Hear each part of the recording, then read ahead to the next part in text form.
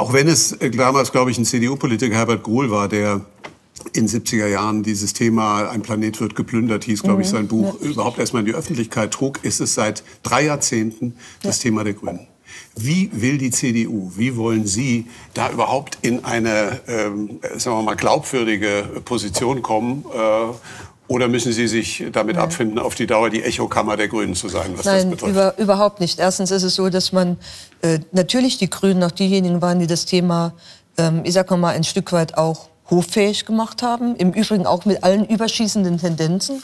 Aber es waren eben insbesondere auch Politiker wie zum Beispiel Klaus Töpfer, die es ein, ein Stück weit auch so, ja, ein, auch so gewendet haben, dass es in der Breite auch akzeptiert worden ist.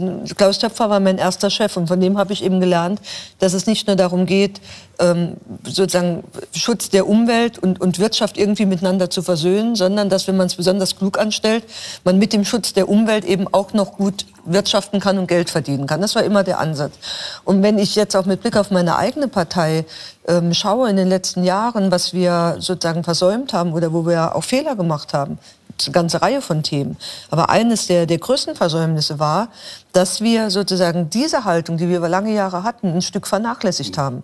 Und es ist eben eine ganz besondere Herausforderung in einem Land, wo eine der stärksten Industrien die Automobilindustrie ist und wo unglaublich viele Arbeitsplätze auch dranhängen, ähm, sozusagen zu sagen, wir wollen eine Mobilität entwickeln mit Blick auf Klimaschutzziele, die eben diese Klimaschutzziele nicht dadurch umsetzt, dass wir deindustrialisieren oder jetzt in Baden-Württemberg genau das Gleiche, äh, massiv Arbeitsplätze aufs Spiel setzen. So, und das ist ein unglaublich schwerer ähm, Interessenswiderspruch und wie man das intelligent unter einen Hut bekommt, das ist ein Thema, das eigentlich auch klassischerweise auch ein Thema der CDU sein müsste oder hätte sein müssen.